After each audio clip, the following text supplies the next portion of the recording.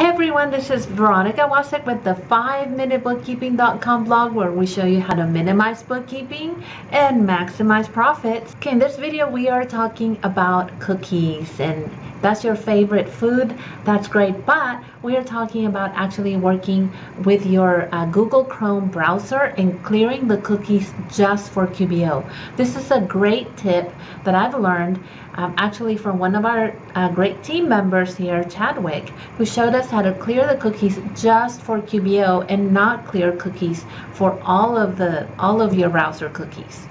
So you know how sometimes you're having problems with your with QBO and thinking that um, well um, there's some reports that I can't pull up or some numbers that I'm expecting to see that I don't see and maybe you think well um, QBO is having some issues. Or even if you think that you're not able to get into QBO um, because you might think that it's down actually no it's because you're having browser issues. So you need to clear your cookies. That's the the simplest way in order to be able to work with QBO is to clear the cookies. So let's go to the tutorial. I'm sure this isn't the very first time that you've seen this message, right?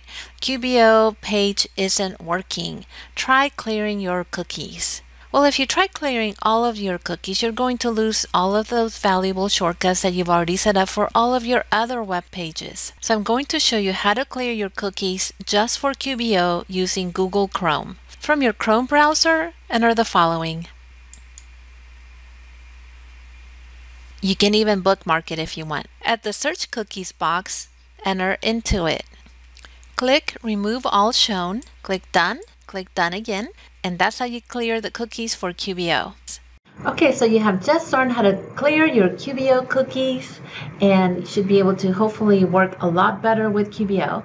So go ahead and uh, subscribe to my channel so you can get all of the latest QBO tutorials and tips on how to minimize bookkeeping and maximize profits. And remember to visit my blog at 5minutebookkeeping.com.